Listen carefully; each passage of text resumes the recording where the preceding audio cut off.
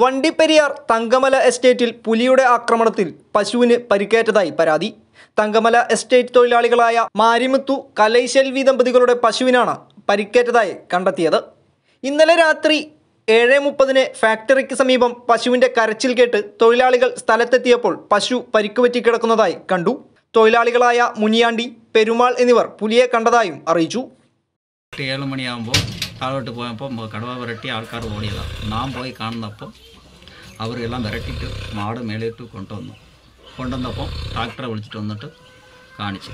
കാണിച്ചിട്ട് തിരിച്ചിട്ടിട്ട് പോയി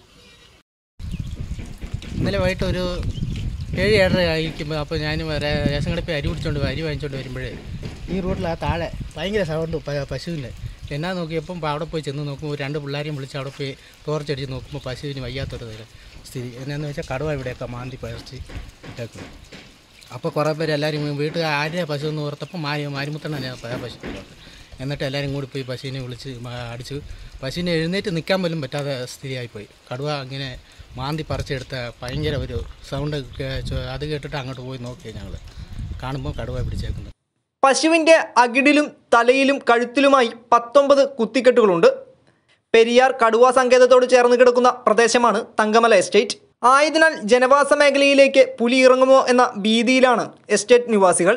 പുലിയെ പിടികൂടാനുള്ള നടപടികൾ വനം വകുപ്പിന്റെ ഭാഗത്തു നിന്ന് ഉണ്ടാകണമെന്ന് നാട്ടുകാർ ആവശ്യപ്പെട്ടു. Enlight news Peermade